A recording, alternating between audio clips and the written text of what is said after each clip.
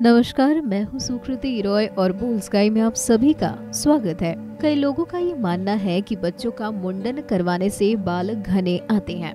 कई धार्मिक संस्कारों के तहत बच्चों का मुंडन करवाया जाता है। यहाँ तक कि एशिया में भी इस रीति का पालन किया जाता है। एक उम्र के बाद बच्चे का मुंडन करवाना ज़रूरी होता है, ताकि उसके बाल घने और अच्छे आए। हिंदू संस्कृति में भी मुंडन संस्कार किया जाता है। हालाँकि गौर करने वाली बात ये है कि इस तरह की धारणा में कितनी सच्चाई है।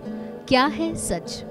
अक्सर माता पिता अपने बच्चे का मुंडन ये सोच कर करवाते हैं कि उससे बच्चे के बाल पहले से ज़्यादा घने और हेल्दी आएँगे। यहाँ पर आपको ये समझाना ज़रूरी है कि अगर आपके बच्चे के बाल मुलायम और हल्के हैं तो ये उसके जन्मजात बाल हैं। कई बच्चों के सिर में जन्म के लगभग चार महीने के बाद एक मुलायम परत हट जाती है। और इसकी जगह नए बाल आ जाते हैं, जिन्हें मेच्योर हेयर कहा जाता है। इन बालों में इस बात का पता चलता है कि असल में आपके बच्चे के बाल कैसे हैं और ये जीन्स पर भी निर्भर करता है। मुंडन करवाने से इस चीज़ पर कोई असर नहीं पड़ता। ये बात सच है कि बाल रोम छिद्रों से उगते हैं और जन्म के समय हमारे सिर पर निश्चित संख्या में हेयर फॉलिकल्स होते हैं।